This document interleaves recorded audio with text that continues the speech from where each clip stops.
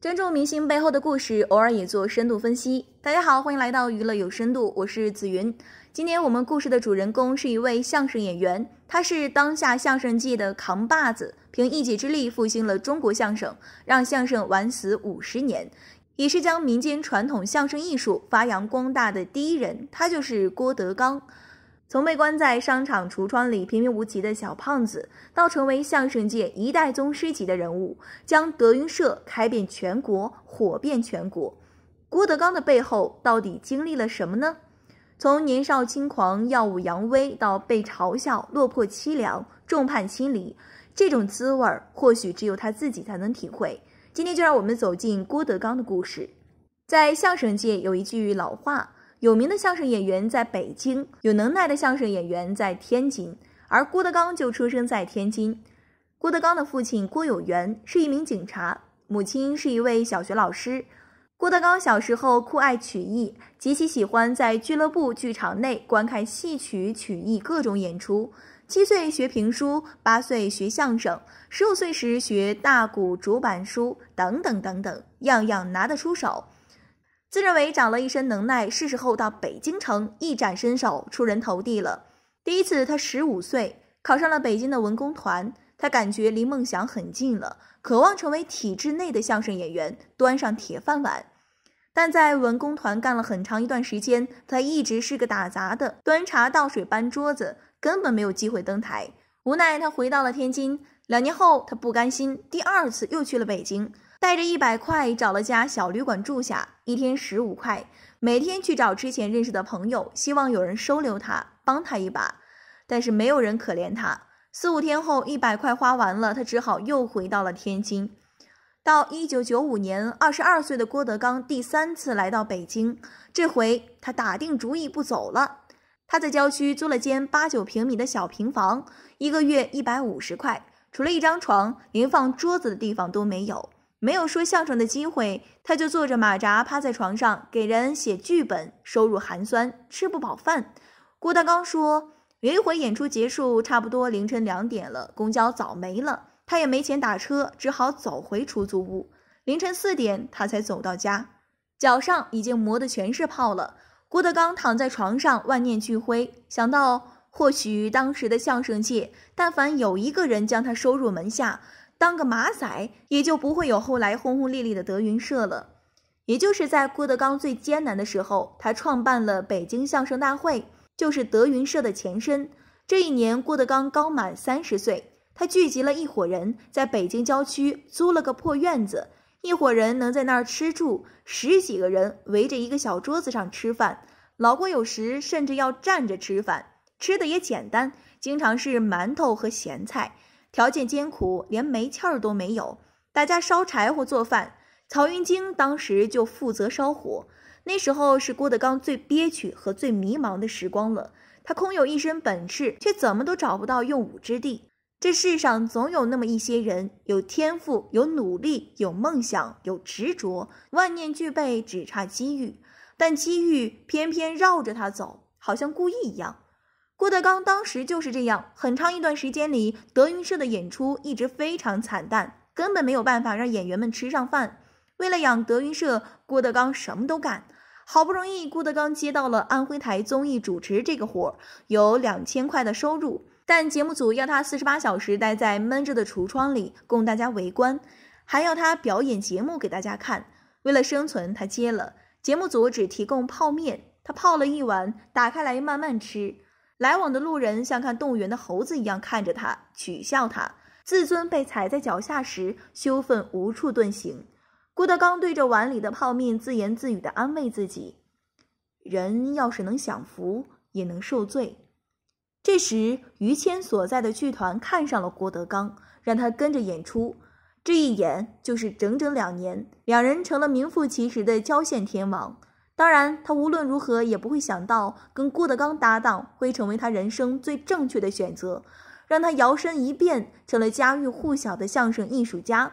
慢慢的，郭德纲有了点小名气，德云社的观众也稍微多了一点儿。郭德纲在苦熬了十几年后，终于等来了他此生最大的鸿运。二零零四年，相声大师侯耀文发现了郭德纲，觉得是块好料，决定收他为徒。郭德纲欣喜若狂。侯耀文那是他想都不敢想的人。郭德纲终于有师傅了，还是个顶级的师傅。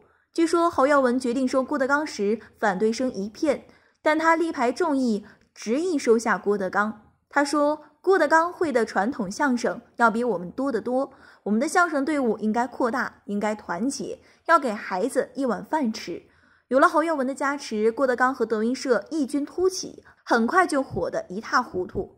结果在最如日中天的时候，郭德纲碰上了灭顶之灾。二零一零年是郭德纲人生最黑暗的一年，各种炸弹像商量好了一样，一起向他扔过来。先是那年一月，郭德纲生日当天，爱徒曹云金造反了，他在生日宴上大闹了一场，表示不干了，离开德云社。这在那个行业是非常忤逆的行为。据说郭德纲当时眼睛通红，不是生气，是伤心。当晚，郭德纲和于谦在二楼演出，应观众要求，郭德纲唱了京剧《未央宫》选段。这就是郭德纲的未央宫事件。转眼已经十年了。随后，主流相声圈发起了反三俗运动，矛头直指郭德纲。在之后，北京电视台爆出郭德纲的别墅侵占公用绿地，而记者上门采访被郭德纲徒弟殴打。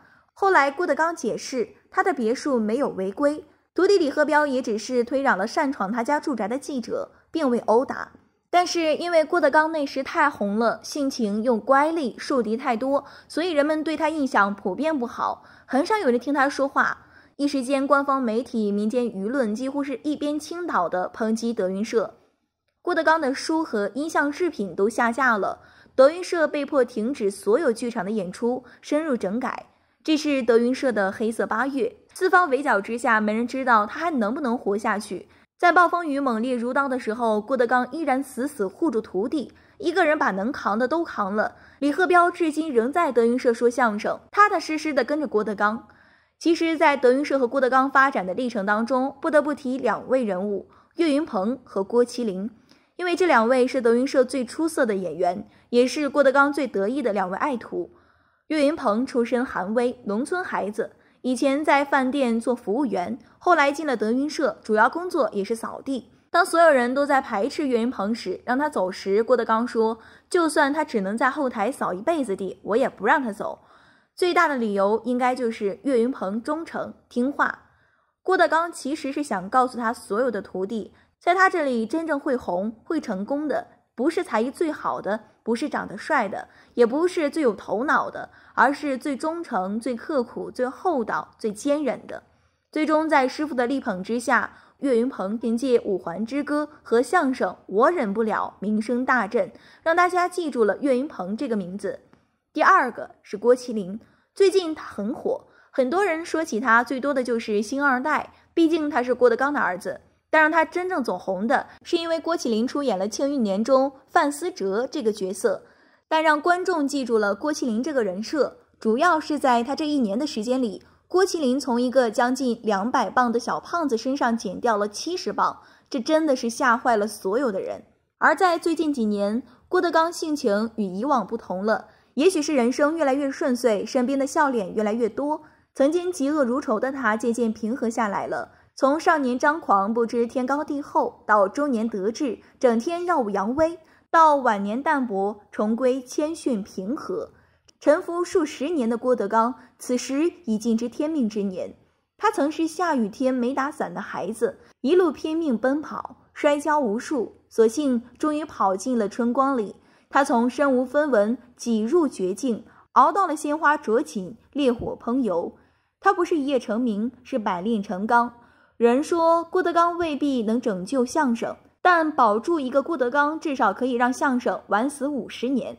最后，希望郭大爷自己学会忘记二零零三年的橱窗经历，好好用来享受来之不易的幸福。然后时不时的站在播音社的台子上，笑眯眯的说一句：“我叫郭德纲，说相声的。”一个时代，一位人物，一段传奇。这里是娱乐有深度，我的频道专注于网红明星背后的故事，做最有深度、最有温度、最有价值的人物内容分享频道。如果你对我的频道感兴趣，那就赶快订阅我的频道，并打开旁边的小铃铛，这样你就不会错过下期的精彩内容了。拜拜。